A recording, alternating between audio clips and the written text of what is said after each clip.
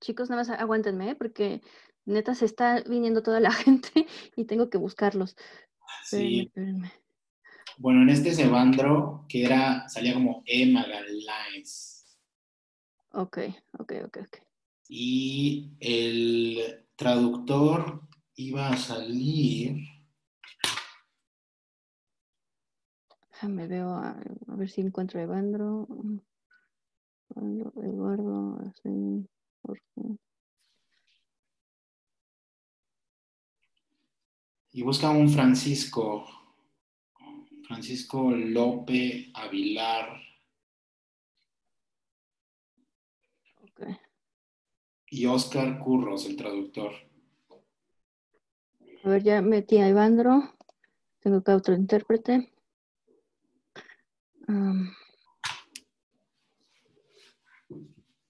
Estoy buscando, estoy buscando, estoy buscando. Es que neta, son muchos, ¿eh? Acá me tienes, Andrea.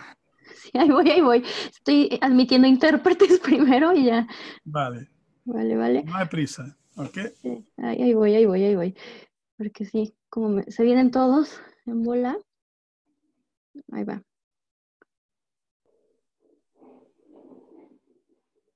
Mm, mm, mm, mm, mm. Ok, a ver, permítanme, mientras voy designando intérpretes a los que ya están, ¿sale?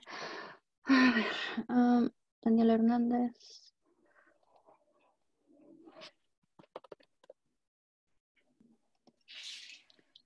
Ok, start.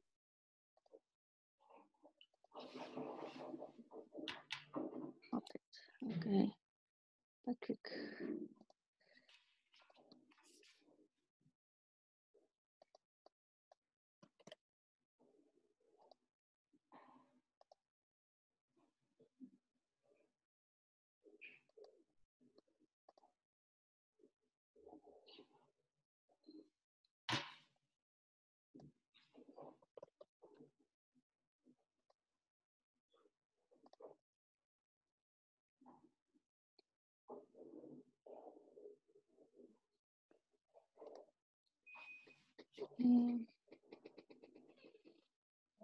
A ver, Toño, te voy a designar este co-host para que puedas ir viendo si, si van entrando más intérpretes o, o los ponentes, ¿sale? Bien, Vale, ya, ya eres co-host. ok.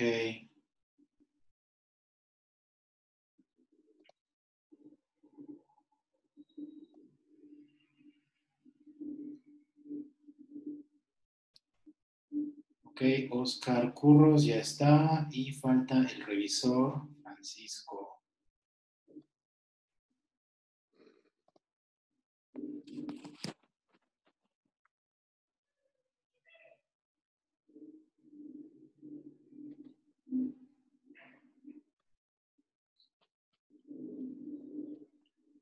No, no lo encuentro.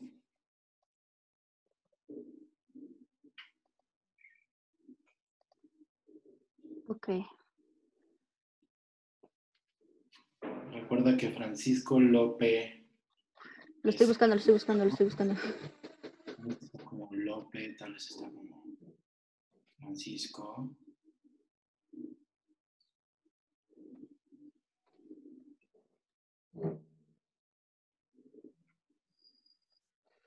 Francisco, Francisco, Francisco. Francisco.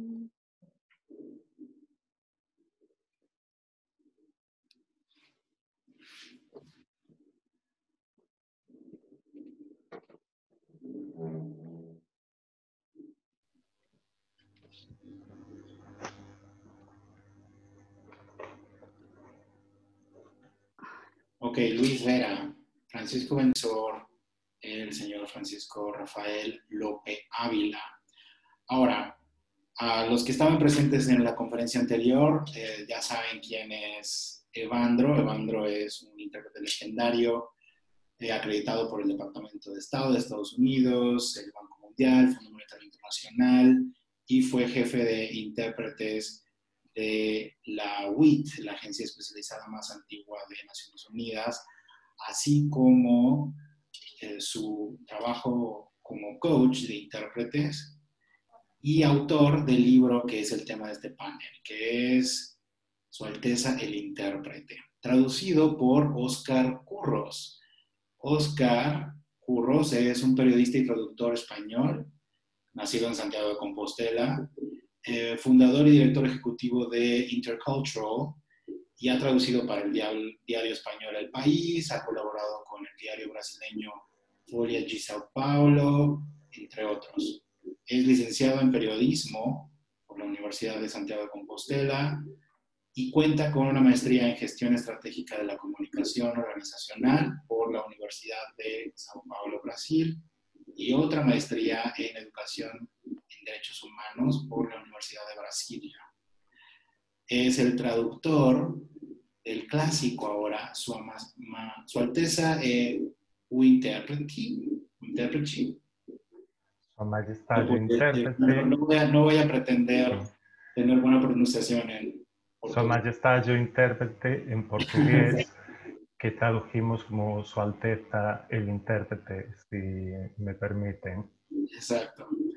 Y bueno, eh, también contamos con la presencia de Francisco Rafael López Ávila, poeta, narrador de minificciones, instructor de escritura creativa, voz editor y revisor, quien desde 1977 comparte en talleres literarios públicos y privados su experiencia en el proceso de creación y revisión. Es miembro fundador del Centro Yucateco de Escritores, fundador de la Escuela de Escritores CETIC para niños, profesor fundador en la Escuela de Creación Literaria del Centro Estatal de Bellas Artes y en la Escuela de Escritores de la Secretaría de Cultura de Yucatán. Ha impartido diversos talleres eh, sobre educación media, básica, media y superior.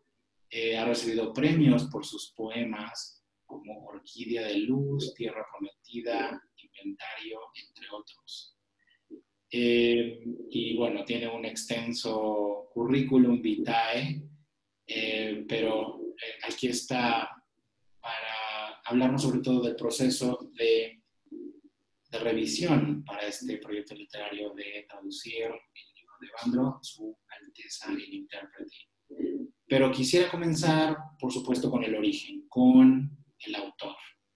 Eh, Evandro, ¿cuál fue tu motivación para escribir Su Majestad Winter, el libro que es el tema de hoy día?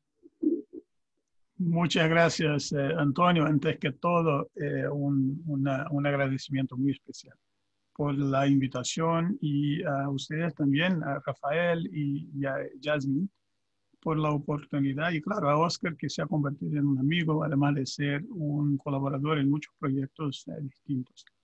Eh, y la curiosidad es que nunca nos hemos visto en persona. No sé si, si les tocó a Rafael y Yasmín de conocer a Oscar, pero a, mí todavía no, no, no, me ha tocado. Pero ya le prometí que en algún momento vamos, Mena y yo, mi, mi esposa, a hacer el camino de Santiago. Quizás uh, podrá ella, él entonces darnos algunas orientaciones.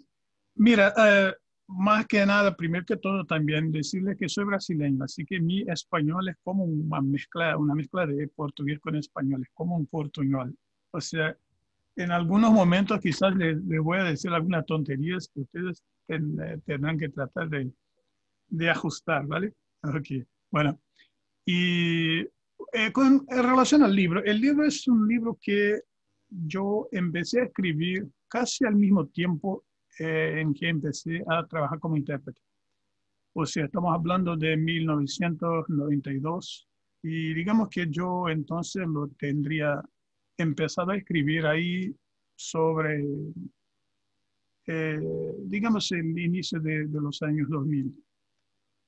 Y porque me de, eh, yo, yo me, me, he dado con un, con una situación, con una realidad que a mí me, me, chocó un poco cuando yo empezaba como intérprete en Brasil. O sea que había muchas cosas interesantísimas, muchas cosas muy, muy, muy brillantes y muy, muy que a uno le invitaba a comparecer y, y, trabajar como intérprete, pero también algunas cosas que a mí me parecían muy feas, cosas y comportamientos y, y cuestiones que, que, me, que me suenaban un poco raras. Y entonces yo empecé a tomar nota de estas cosas y quizás empecé a jugar con la idea de hacer como que una, un juguete de, ideas en que yo haría como una, una contraposición de ideas buenas y de ideas malas. O sea, la idea era hacer, y esto, bueno, puede, con esto puedo, puedo darles una idea del título, algo irónico, o sea,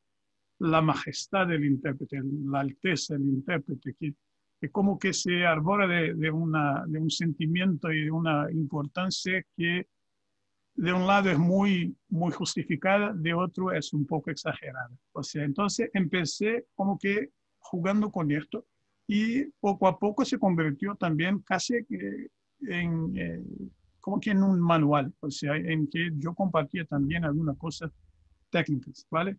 Y al final quedó eh, chistoso, quedó interesante. En Brasil, eh, en portugués, yo lo escribí de manera muy, muy relajada, muy, muy atenta, muy precisa, pero de manera muy, muy chistosa. Y creo que Oscar hizo un excelente trabajo de, de aprender, digamos, esta, esta, el tono, el lenguaje, digamos, muy, muy, muy lleve, eh, más, eh, lleve se dice, o ligera, no sé, con, con que yo traté la, la, cuestión. Entonces, paro por acá y a ver qué, qué le, parece, qué le parece a, a Oscar. Bueno, sí, efectivamente, el trabajo de Oscar, su traducción es la primera traducción del libro eh, que fue escrito en portugués. ¿Cómo fue el proceso, los dos? Eh, cuéntenos cómo surgió la posibilidad de traducir el libro de portugués a español. Déjenme que les diga que el libro, bueno, yo lo lancé en 2007 en Brasil por una editora muy, muy respetable que se llama Parábola Editorial. O sea, yo le envié a un editor que, a, quien le gustó mucho la idea y entonces me, me propuso hacer una edición, digamos, eh, normal en Brasil. Y el libro ha tenido como dos o tres ediciones, dos, dos reimpresiones y una reedición. Y al final quedamos de quizás reeditar la obra en formato Kindle y también impresa, pero a, él, a ellos le costaba mucho tiempo empezar con esto. Entonces yo me quedé esperando como casi un año y esto no avanzaba. Y entonces yo le propuse al editor, de, quien me he convertido en un amigo, que dejáramos como estaba, que él entonces me diera otra vez los derechos de publicación y que yo entonces me encargaría de hacer una publicación independiente a esta altura empecé a hablar con, con Oscar, que partió de él la iniciativa de decir, eh, Evandro, ¿por qué no hacemos una, una, versión en español?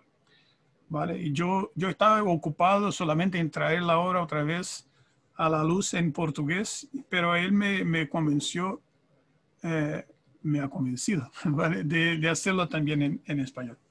Y a esta altura empezamos a, a, a charlar y a comunicarnos y ya ya sabe lo que pasó.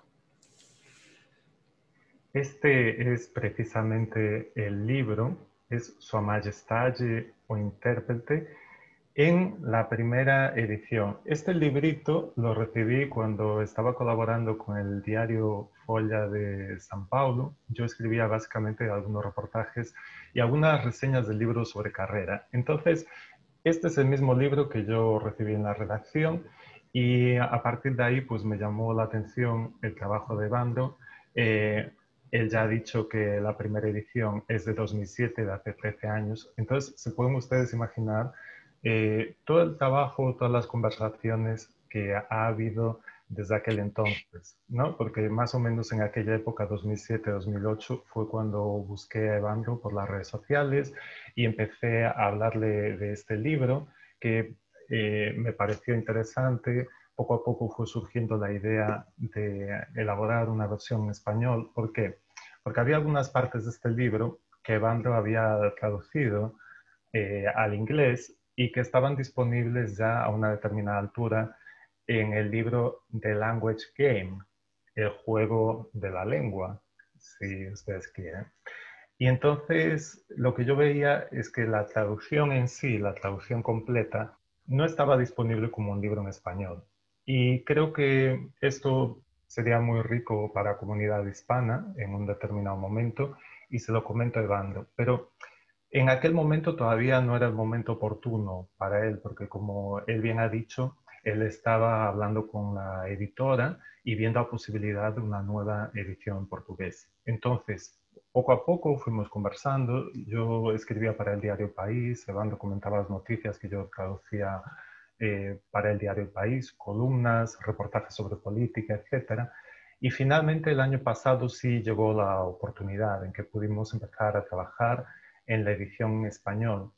Y una de las cosas más interesantes de trabajar con Evandro es que fue posible realizar una serie de adaptaciones culturales. Entonces, entre el año pasado y agosto de este año, que fue cuando se lanzó el libro, que se terminó de trabajar en plena pandemia durante los meses de junio y julio, es que eh, si ustedes ven el título, por eso es interesante lo que comentamos al principio, en portugués se llama Sua Majestade o intérprete. Si lo hubiéramos traducido literalmente, esto sería Su Majestad el intérprete en español y sería posible, pero nos sonaba mejor Su Alteza el intérprete por cuestiones lingüísticas. Entonces, por eso me interesó llamar la atención al principio sobre los títulos y ahora lo, lo recupero explicando un poquito porque esta fue simplemente una de las muchas adaptaciones culturales que hicimos, porque había algunas cosas que estaban contadas muy para un público brasileño, estaban enfocadas hacia aquel sector en particular.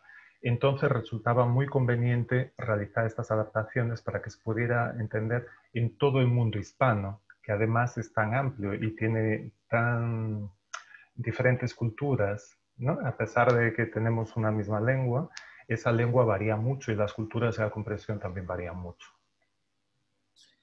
Gracias, Oscar. Precisamente quería preguntarte sobre estas adaptaciones culturales a cuatro manos que se mencionan en la obra, porque suena abrumador simplemente el proyecto de traducir un libro, pero traducir un libro al español, una lengua tan vasta, con diferentes, muy diferentes países y muy diferentes eh, dialectos, eh, suena incluso más abrumador.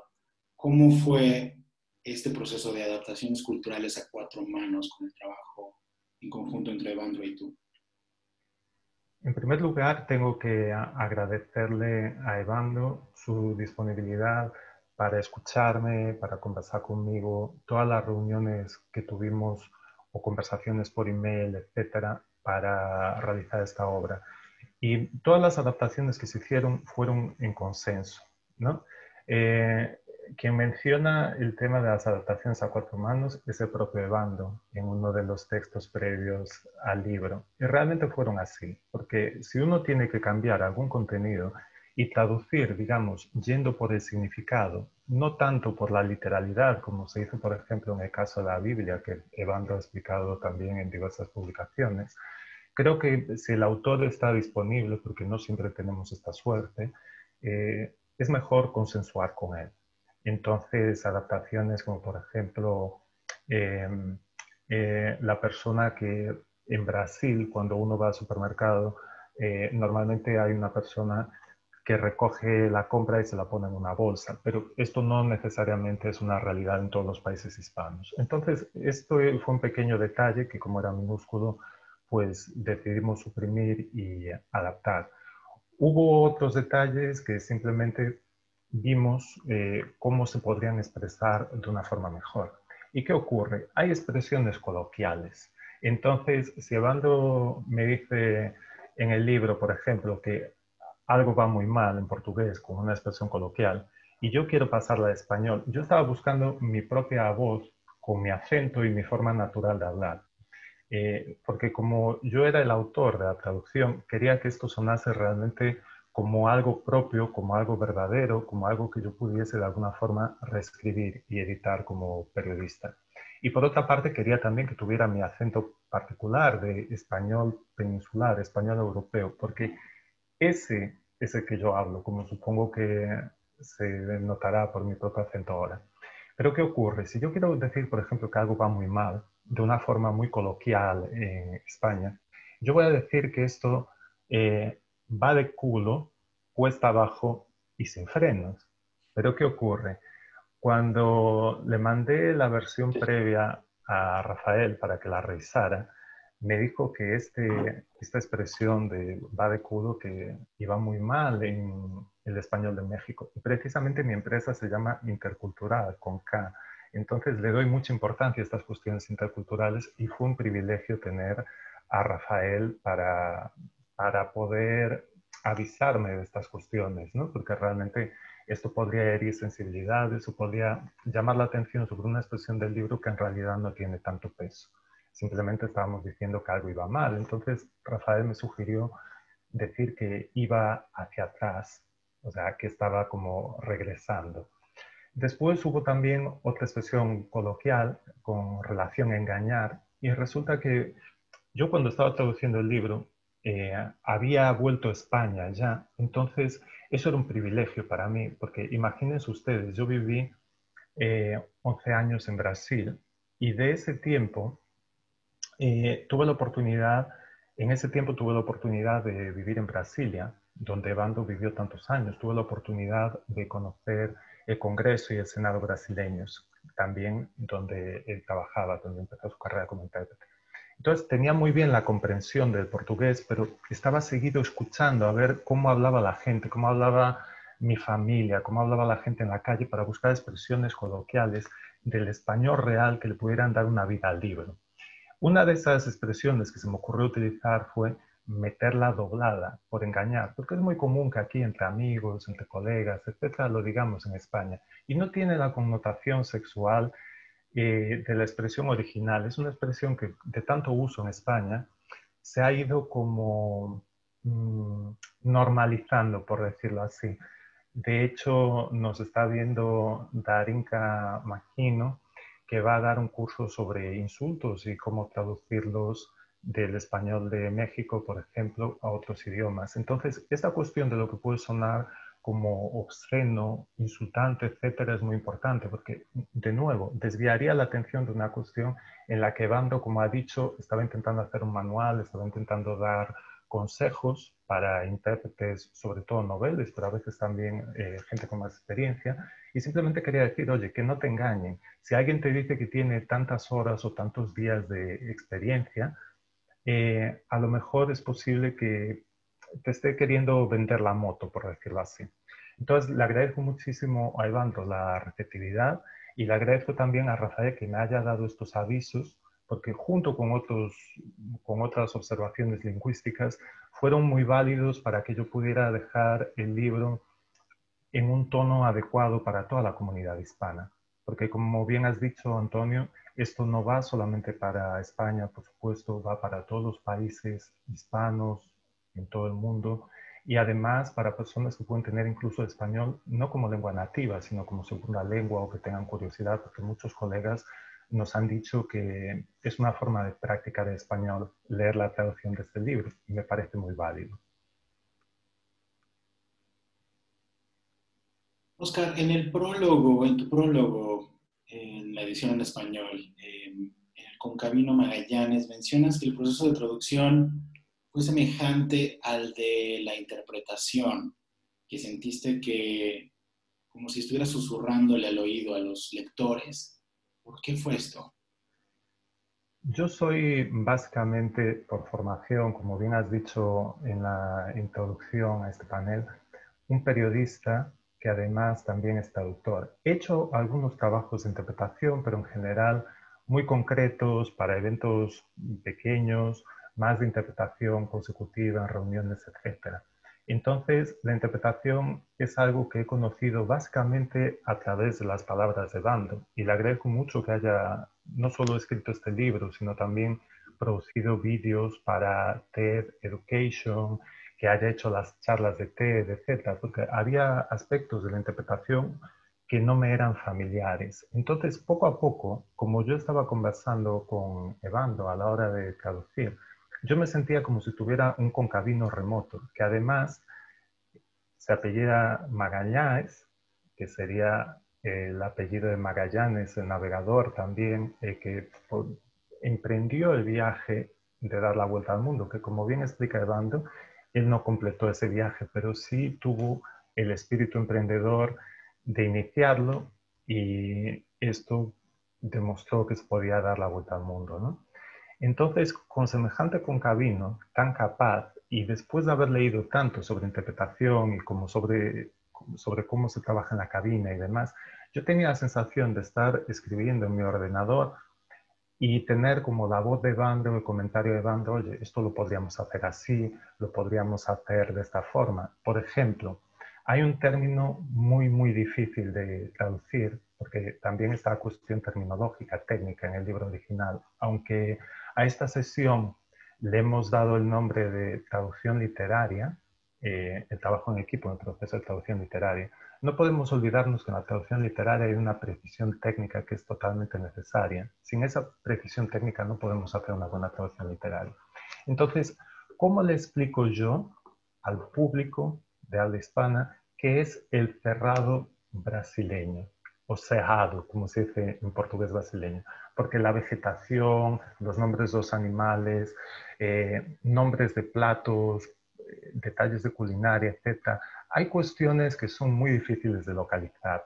Y Evandro, en el libro original, en su Majestario de Intérprete, no solo habla de este paisaje brasileño, sino que además dice que los árboles están retorcidos. Esto es una característica del paisaje del cerrado porque el suelo es pobre, entonces los árboles tienen mucha dificultad para crecer y se retuercen de esta pura dificultad. Y esto al mismo tiempo él lo usa como metáfora para decir que su mundo estaba dando una vuelta, que se estaba poniendo al revés al ir a Brasilia. En este caso, una forma de explicárselo al lector hispano es que el, cerrado es como si fuera la sabana brasileña.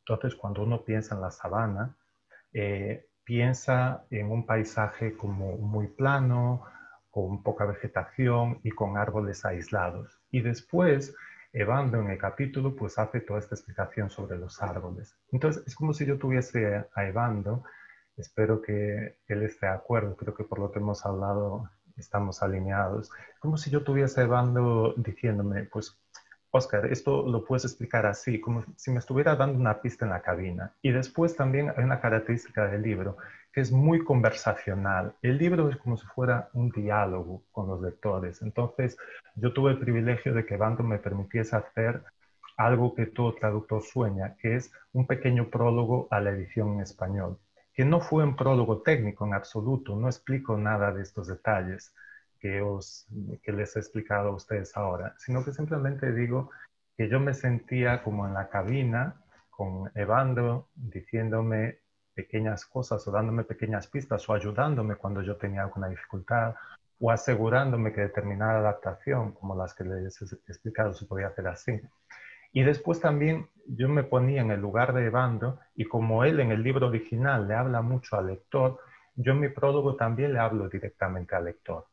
Y a lo largo del libro me imagino a ese lector e intento escribir una prosa que sea lo más conversacional posible. De ahí todo mi esfuerzo de escuchar el español una vez que ya estaba aquí en el país. Hoy les hablo desde Santiago de Compostela, en Galicia, en España. Y mm, estaba como intentando hacer esto. Hoy tengo unos pequeños auriculares puestos para este evento. Entonces yo me imagino cuando estoy escribiendo que le estoy hablando a ese lector. Y de hecho, la primera traducción resuelve los problemas técnicos, los problemas de adaptaciones culturales, etcétera, pero después hay otras lecturas mías, porque yo también revisé mi propio texto. Y en esas lecturas simplemente me imagino al lector y voy adaptando el texto, porque si alguna frase ha quedado demasiado dura, demasiado rígida, poco, poco fluida, digamos, o poco agradable de leer, voy rehaciendo eh, todas esas expresiones, todos esos párrafos, para que el texto fluya para el lector, para que la lectura sea agradable. Creo que esto es una aproximación muy de editor periodístico. Y Rafael me ayudó mucho con eso durante la revisión, porque él también hizo varias lecturas. Entonces, él lo explicará posteriormente, pero esto hizo que él entendiese ese tono que yo le quería dar al libro, porque en un determinado momento me apropié de él y le intenté dar mi voz, mi voz con mi acento, con todo lo que he dicho anteriormente, para que las personas pudiesen sentir como que estaban conversando con alguien de verdad. Entonces, ese, ese carácter interpretativo que tiene este texto. Porque por una parte yo como traductor tengo que interpretar lo que está en el texto original, aunque hayamos hecho esta diferencia técnica entre traducir como eh, una disciplina escrita e interpretar como algo hablado, que es algo que Bandro también toca en el libro. Si ustedes quieren leerlo posteriormente podrán ver esa, esa diferencia y todo lo que le explica al respecto. Pero obviamente el traductor también tiene que interpretar y tiene mucho que interpretar. Y además yo tenía esta sensación de cabina, de estar hablando y estar contándole la historia de Bando eh, a esas personas, como si yo fuera un intérprete no solamente un traductor un texto escrito, sino además alguien que estaba intentando darle vida y contarles a los lectores esta historia como si fuera a los oídos, como si les llegase por los auriculares. Y esto se lo tengo que agradecer a Evandro, porque durante estos 13 años desde la publicación del libro tuvimos mucho contacto, mucha amistad, y yo fui aprendiendo con él. Y esto, como somos lingüistas, como somos personas del área, pues muchas veces de humanidades, nos va llegando nos vamos de alguna forma empapando de estos sentimientos, de, esta forma de ver la profesión. No puedo coincidir más con lo que menciona sobre el tono de, del libro. Eh, yo tuve el privilegio de leer tu traducción el fin de semana y efectivamente es eh, un tono muy conversacional, muy fluido, sin lugar a dudas un reflejo de eh, la carrera y el, uso, la experiencia que ha tenido Evandro y tú con el lenguaje, con, las palabras. Eh, mencionaste también la valiosa contribución de, Rafael López como, como revisor.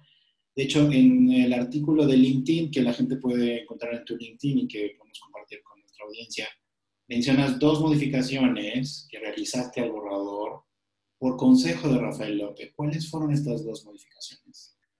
Las modificaciones fueron estas que yo expliqué anteriormente de adaptaciones del lenguaje que podría resultar vulgar, sobre todo en países como México, porque no todos los países hispanos tienen la misma sensibilidad, por supuesto.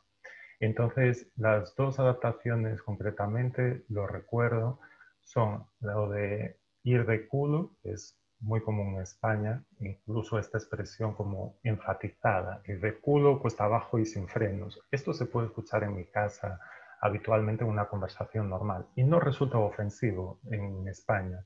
No es que estemos diciendo tacos ni usando un lenguaje vulgar, simplemente estamos siendo expresivos.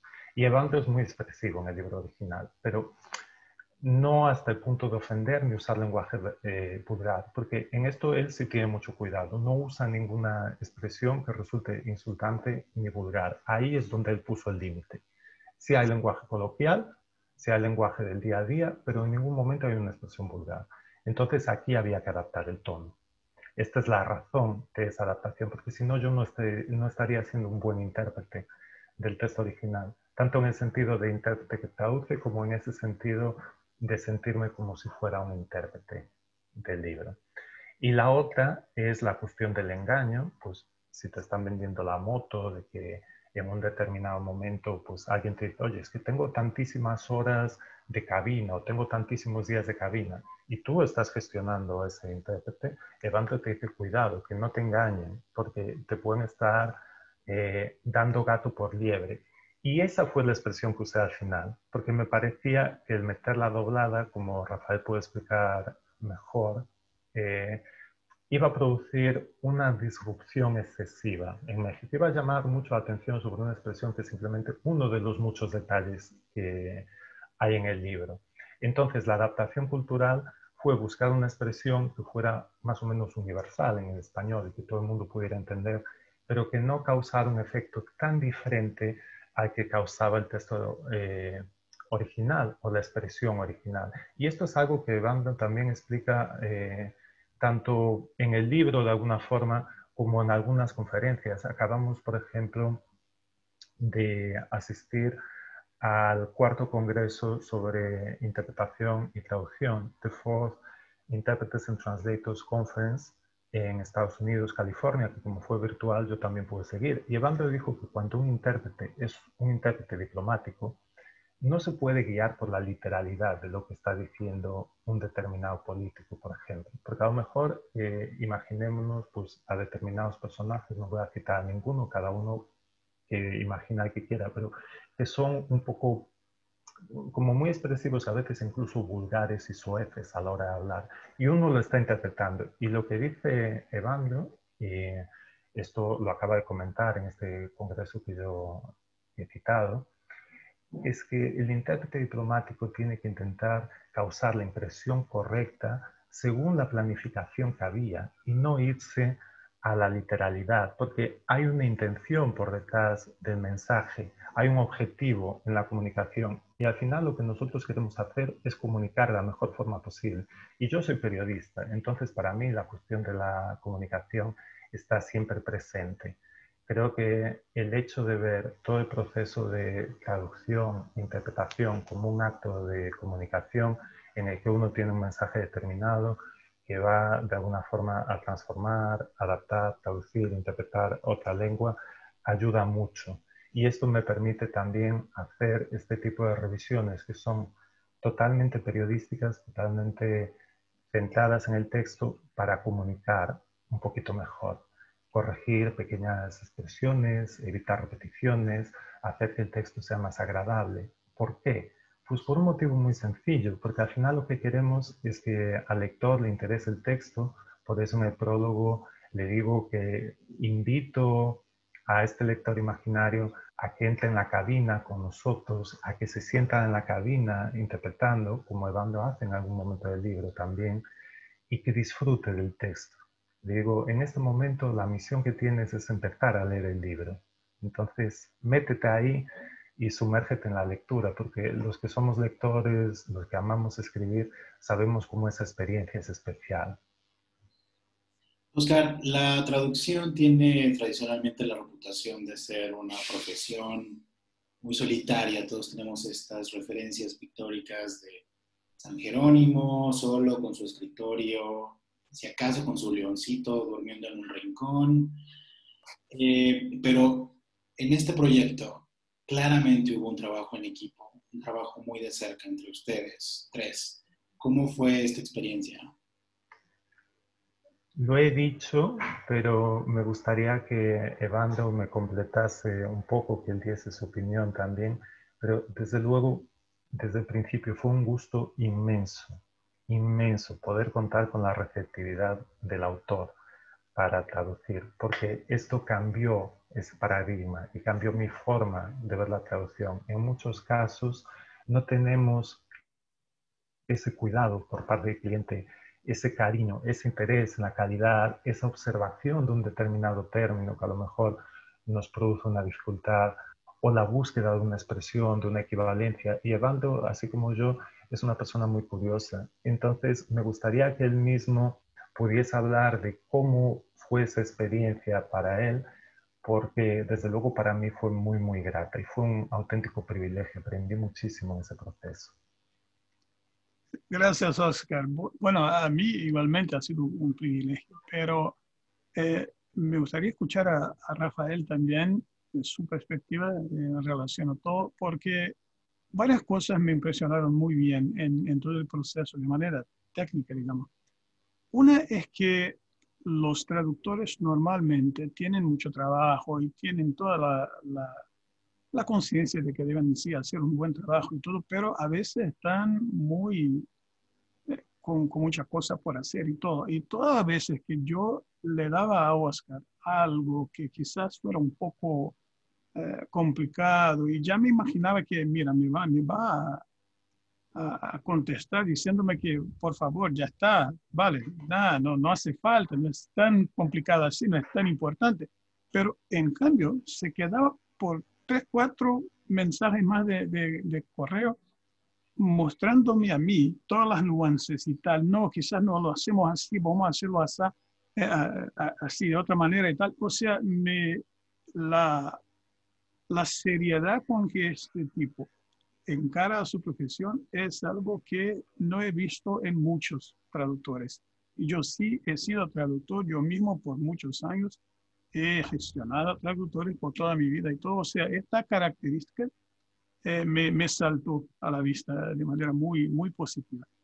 Y lo mismo puedo decir de, de Rafael, porque cuando leí la revisión que había hecho del trabajo de Oscar, ni solo pude, eh, pudo, ver ahí los cambios que había hecho en relación al español, pero indirectamente me ha servido mucho porque yo, por ejemplo, me di cuenta de que a cada 10 frases yo empezaba con decir e, and, and, algo así. O sea, y Oscar lo metió porque quería dar al libro este, este tono conversacional, pero cada vez que me cortaba una e, una i, una yo entonces reflexionaba, vale, de hecho yo como, como autor tengo este cálculo, tengo este hábito que tengo que cambiar. O sea, a mí me, me, me sirvió muchísimo, pero me, me, gustaría escuchar tus impresiones, Rafael, de, de, de qué tan difícil ha sido el trabajo.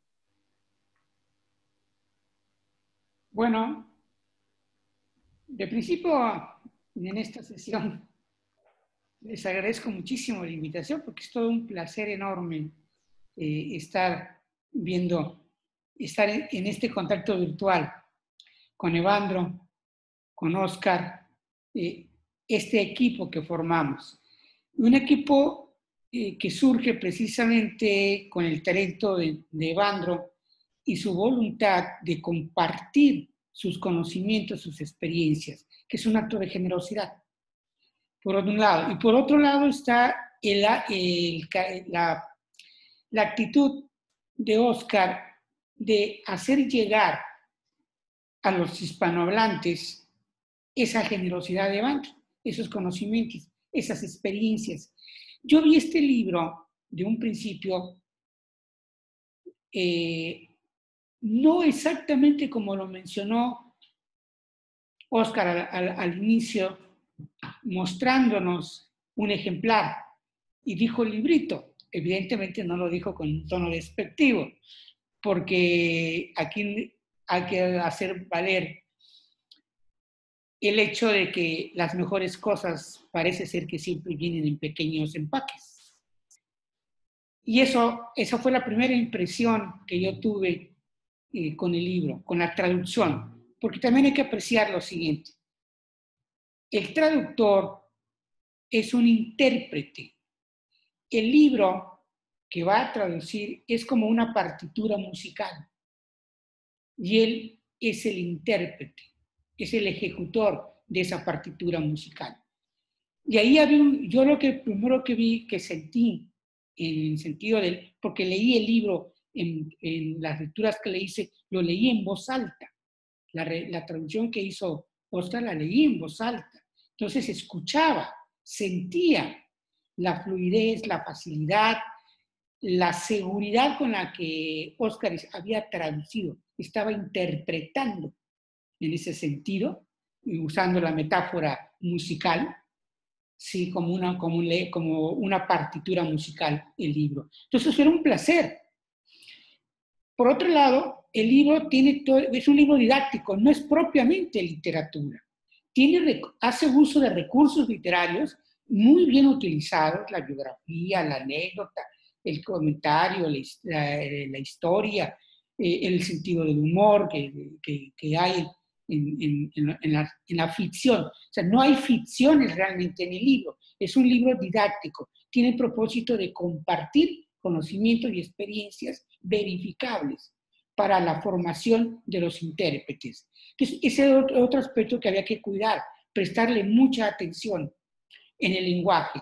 Y se notaba desde el primer momento, desde el momento que uno empieza a leerlo, la seguridad con que había sido traducido, con la que ah, se había asumido el trabajo. Claro, cuando ya me entero de todo el tiempo que hay de la, relación que le llevó a Oscar llevando eh, para lograr esa buena traducción, me parece admirable. ¿sí? Eh, quizás un empresario editorial diría, se llevaron demasiado tiempo. No, se llevaron el tiempo justo y necesario para hacer bien las cosas, para hacer un excelente trabajo. Y eso fue muy placentero.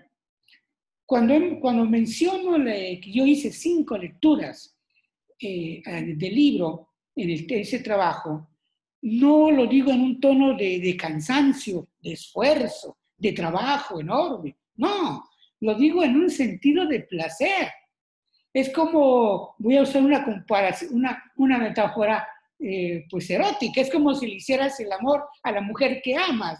Entonces tienes ahí un libro, sí, que está muy bien, un texto que está bien traducido, una traducción, perdón, que está bien hecha y que es totalmente placentera. Entonces lo lees y lo relees y lo vuelves a leer. Cada, lectura técnicamente tengo un objetivo específico, ¿sí?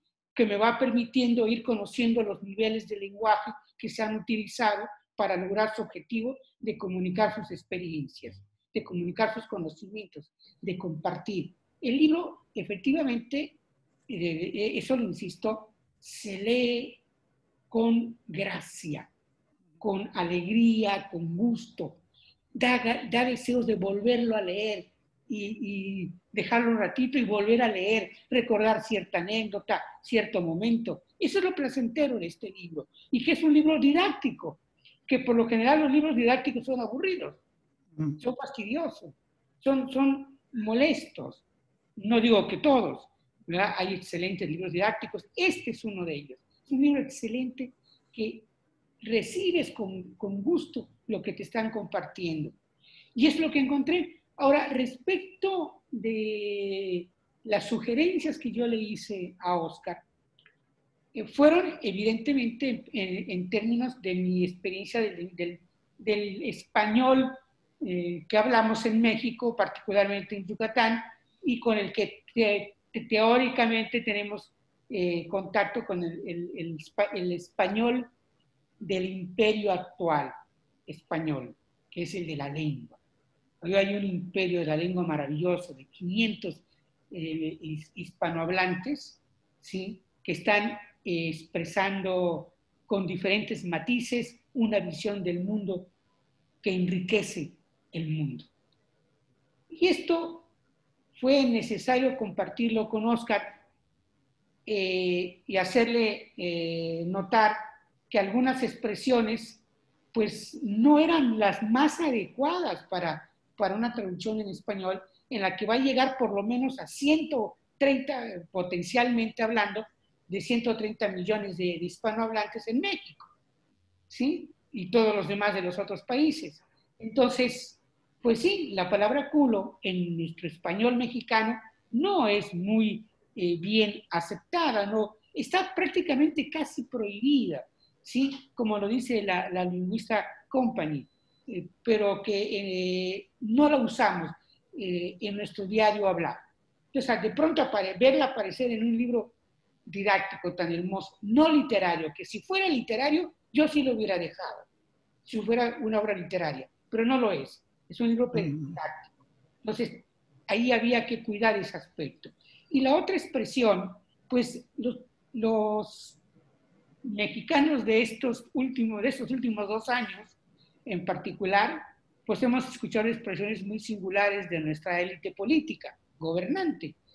Y eh, esta expresión que pronunció muy eh, desenfadadamente el director de Cultura Económica, del Fondo de Cultura Económica, Paco Ignacio Taibo, un excelente escritor, ¿sí?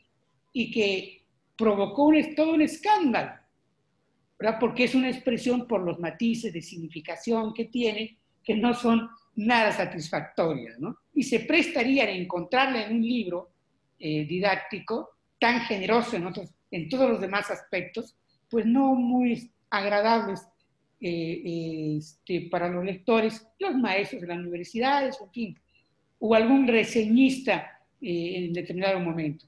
Y fue esta expresión de Paco Ignacio Taibo que todos escuchamos y reescuchamos muchas veces, porque precisamente la comentaba, ¿no?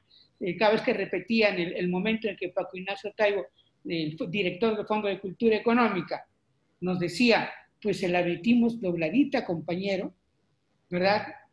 No iba a ser muy agradable. Bien, esa fue la sugerencia, sí que hice en particular sobre esa y otras más.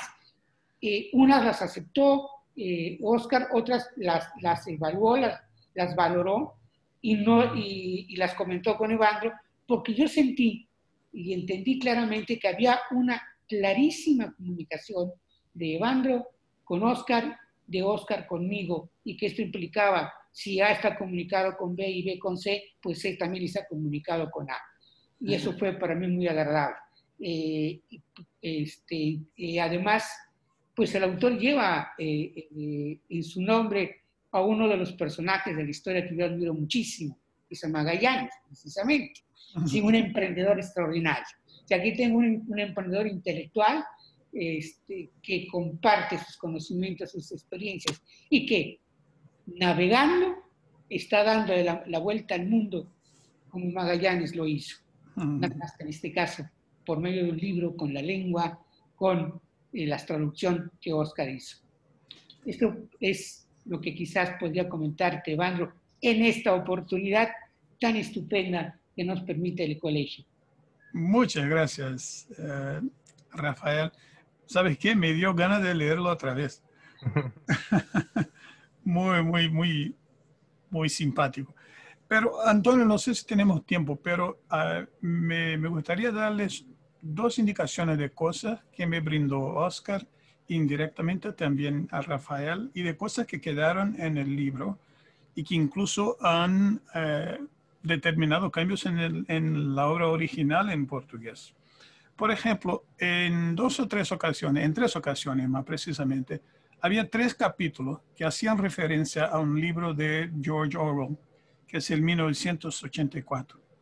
En la edición original yo tenía los títulos de estos capítulos como las tres máximas de la obra de George Orwell. Libertad es esclavitud y cosas así. Y cuando hablé con Oscar, quería cerciorarme de que la traducción de los, de los eh, títulos estos eh, estuviera de hecho como se las encuentran los lectores en la obra original.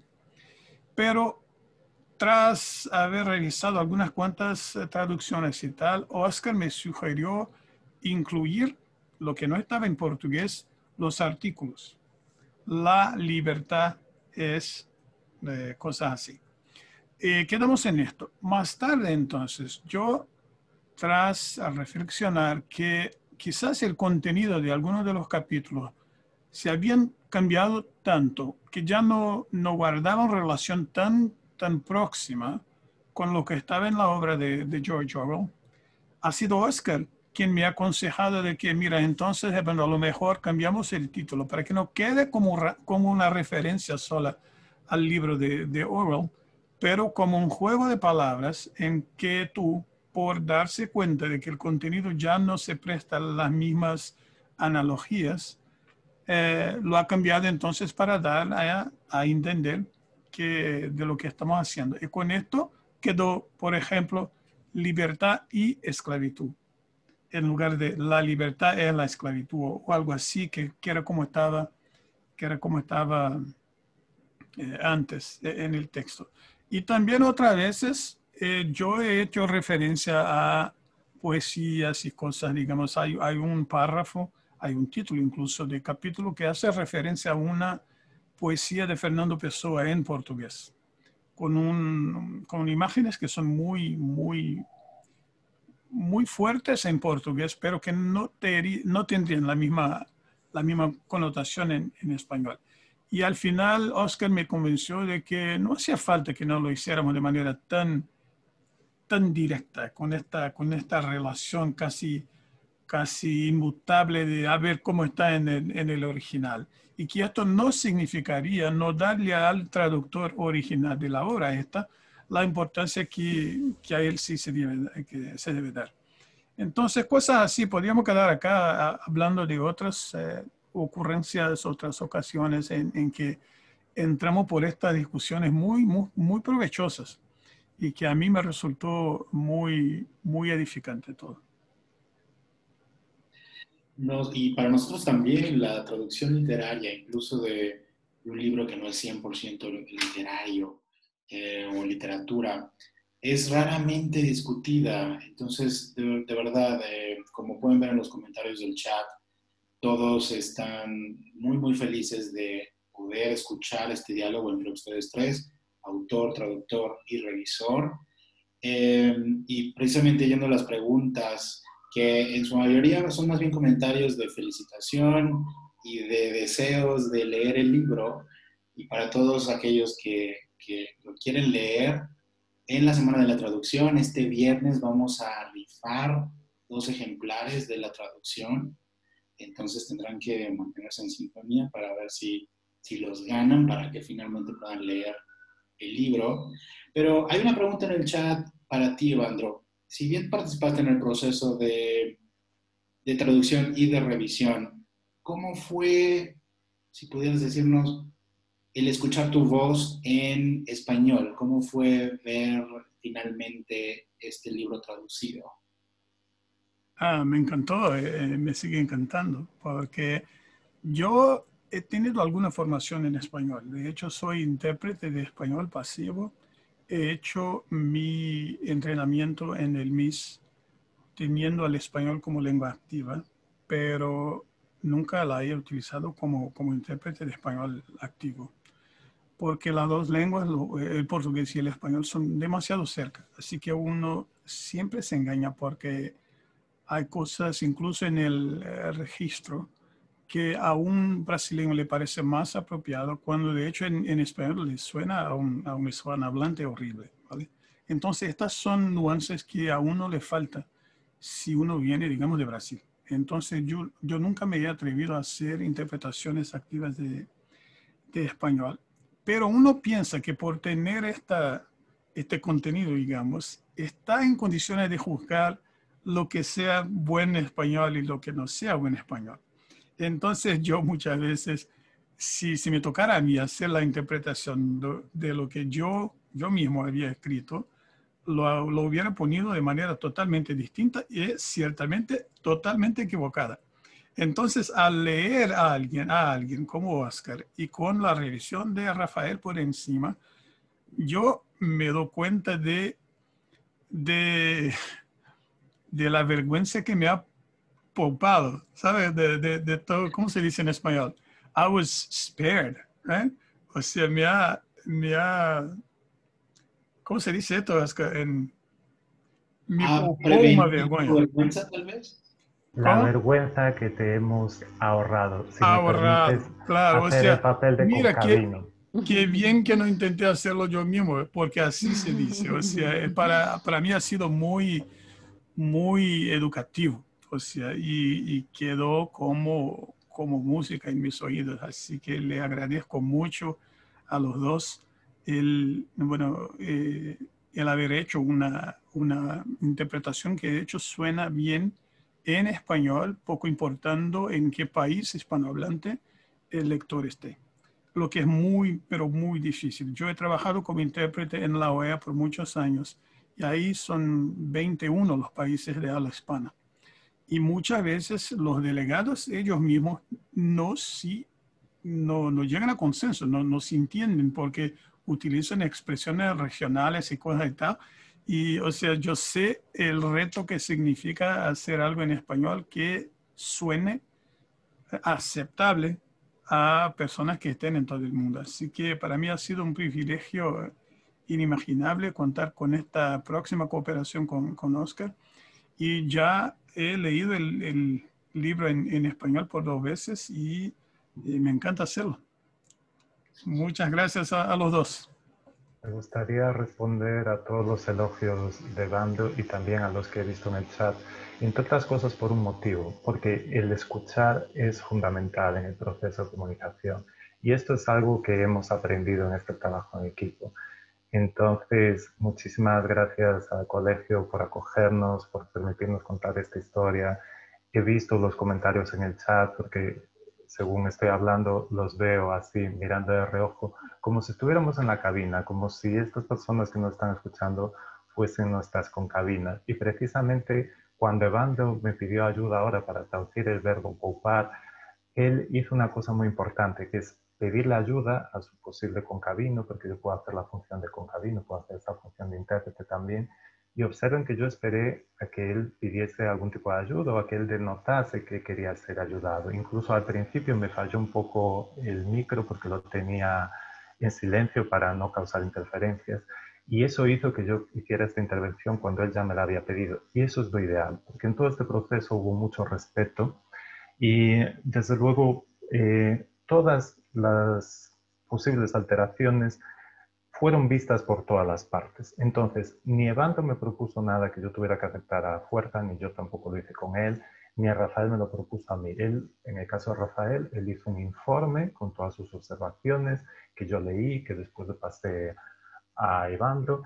Y yo sé también, así como Evandro lo ha dicho, lo que es estar en cualquiera de estos papeles. En el papel de autor, porque también escribí el pequeño texto de prólogo en español para el libro y escribo otros textos en otras ocasiones, en el papel de traducción, que es el que me corresponde en esta obra, y en el papel de revisor muchas veces, durante este proceso y en muchos otros momentos, y que sepan que la capacidad de revisar bien, como dijo Rafael en este caso, con ese respeto y con ese cariño, es muy rara. Y yo aprendí a apreciarlo mm, a base de reducir mucho mi ego durante la carrera, porque entendí la importancia que tiene para la calidad. Entonces, no puedo agradecerle lo suficiente a Jasmine López, CEO de Certified Interpreting Services, que me sugiriera a Rafael como su escritor, su revisor, su poeta y alguien que me iba a ayudar a mejorar mi texto. Desde luego, eso es algo que nunca le podré agradecer lo suficiente y tengo esa pequeña deuda con ella, con mucho cariño, porque como he dicho, aquellos a los que nos gusta el texto, a los que nos gusta escribir y nos gusta leer, vemos ese acto, como bien lo ha descrito con mucha elegancia Rafael, como hacerle el amor a ese texto, disfrutar, tener placer. Y para eso tienes que estar con las personas adecuadas. Entonces, el saber escuchar y tener un poquito de humildad en algunos momentos, en realidad puede redundar en nuestro propio beneficio. Yo todo lo que he recibido durante este proceso me ha eh, permitido aprender y transformarme de una forma que no sería posible si no hubiera pasado por él.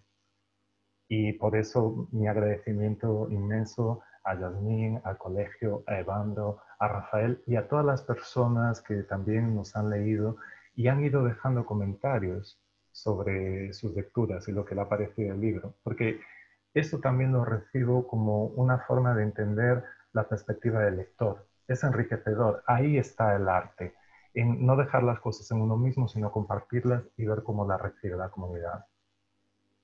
Me alegra que menciones este, este informe de Rafael. De hecho, quería comentarle, al preparar este panel, muy gentilmente me dieron acceso a sus notas finales.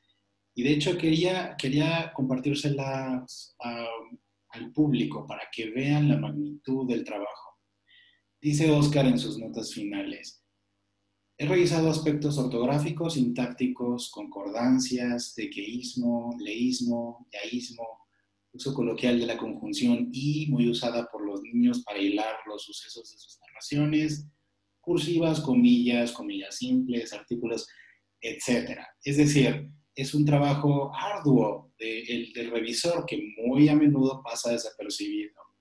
Eh, por supuesto, para contribuir en, lo que más pueda a estas sugerencias y correcciones finales. Em, ya casi no tenemos tiempo, pero verdaderamente el Colegio Mexicano de Licenciados en Traducción e Interpretación y la audiencia de la Semana de la Traducción está en deuda con ustedes por habernos dado un vistazo a cómo es este proceso de trabajo en equipo en un proyecto de traducción como este. Muchas gracias a, todos ustedes. ¿Hay algo más que quisieran compartir? A mí me gustaría darle la palabra a Rafael, que es la persona que no ha hablado en este turno anterior y me gustaría mucho que él concluyese. Y al final yo tendría un anuncio y un pedido, Antonio. De acuerdo. Pero muy, muy rápidamente, muy corto. Por supuesto. Pues muchísimas gracias por esto. Eh, lo que estamos, estamos haciendo, gracias a la eh, petición del colegio, es compartir el poco o mucho conocimiento que tenemos, la experiencia que tenemos cada uno de nosotros. Obviamente hay eh, diferentes niveles y, y, orientaciones, pero es eso lo que finalmente nos une y que hace al intérprete una eh, un individuo muy interesante y su actividad muy importante, compartir. dar. Y eso es lo que hemos hecho, nos han permitido. Y pues muchísimas gracias. Gracias a Evandro, gracias a Oscar, gracias al colegio, gracias a todos los que han asistido a esta eh, entrevista virtual y que han hecho comentarios. Les agradecemos muchísimo. Y ahora Evandro, si lo desea, por favor, que haga el anuncio. Sí, claro, muchas gracias. Que diga sus palabras. Además de agradecerles otra vez por la invitación y por toda la, la gentileza con que nos han brindado, que nos han brindado. Yo tengo, como, como he dicho, un, un anuncio que hacer, que es el hecho de que estamos haciendo la traducción o nomás la, la versión en audiobook en portugués y también en español. Yo lo estoy haciendo yo mismo en portugués y ya voy a, quedar con, con, Oscar cómo lo hacemos en, en español. Eh, a mí me gustaría mucho que fuera su voz, con su acento eh, de, de, de España y con todo lo que tiene de, suyo. Y también al final un pedido es que eh, yo me gustaría pedirles a ustedes que, por, bueno, que, hayan leído eh, el libro o, bueno, por si acaso lo hacen, que nos dejen una recomendación, un review en Amazon, para que otros lectores entonces puedan saber lo que, lo que esperar no les pido que dejen buenas impresiones, ¿vale? O sea, que de hecho tengan la sinceridad de decir, claro, lo que les parezca, pero a nosotros nos ayudaría muchísimo si de hecho pudieran dejar una, sus impresiones, ¿vale? Y bueno, con esto, con esto eh, concluyo. Gracias a ustedes y seguimos enfrente. Eh, adelante, Oscar. Muchas gracias. Muchas Muchísimas gracias. Quisiera únicamente tomar unos segundos para agradecer en mi eh, calidad de presidente del CEMELTI y en nombre de todos y cada uno de los miembros del Consejo Directivo, de los asociados y de todos nuestros seguidores y asistentes a esta semana de traducción. Muchísimas gracias. Gracias por, ya lo comentaba Rafael, gracias por ayudarnos, por aportar para la democratización y el acceso universal al conocimiento ha sido nuestro motor desde la creación del CEMELTI, sin importar cuál de los diversos caminos nos trajo a ser intérpretes o traductores hoy, tenemos el derecho, la obligación de formarnos constantemente y hoy ustedes tres, Oscar, Evandro, Rafael, han puesto un enorme grano de arena a este acceso universal al conocimiento. Muchísimas gracias. Estuvo espléndido todo. Eh, gracias una vez más, Toño, por tu organización, tu gestión, tu liderazgo. Un fuerte abrazo a todos los que nos acompañan y nos vemos pronto en redes. Y gracias por las buenas noticias, Evandro. El próximo año tendrán que hacer un panel para explicarnos cómo fue ese proceso de doblaje eh, para hacer los audiobooks. Vale, con mucho gusto, Mario. Gracias. Gracias. en la otra liga, chicos. Nos vemos ya. Saludos. Muchísimas gracias.